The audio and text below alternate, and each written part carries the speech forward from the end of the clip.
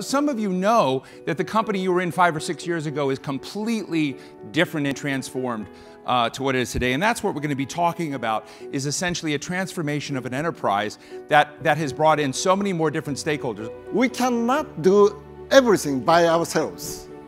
The, that's quite clear. We need uh, various help or powers and technology, how to making uh, the total solutions. The, this is a, a very important point. Inclusive is uh, just the opposite word of the exclusive is how can we build up the, uh, the, the, the, various, you know, the partnership uh, with the, not only the customers, but also that uh, so many the stakeholders to be uh, included in our total view for the future. Somebody in our session yesterday called us the stealth company.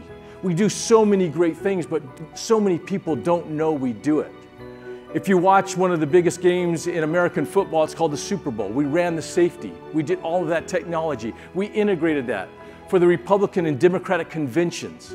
All of that is connected through information in the cloud, through our devices, creating a safer environment. We play very well in the power, the energy sectors, anywhere from the microgrids, solar powers, wind turbines.